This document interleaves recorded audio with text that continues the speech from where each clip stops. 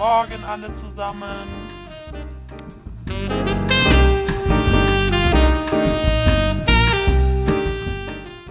Du, Müller, weißt du was?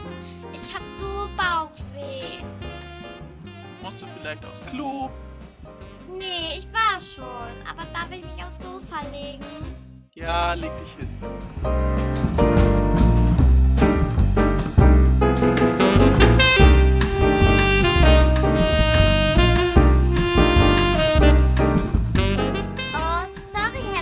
Ich hab Bus verpasst. Ja, jetzt bist du ja da. Weißt du was? Ich hab eine neue Cap. Ja, die sieht schön aus, aber setz dich jetzt bitte hin.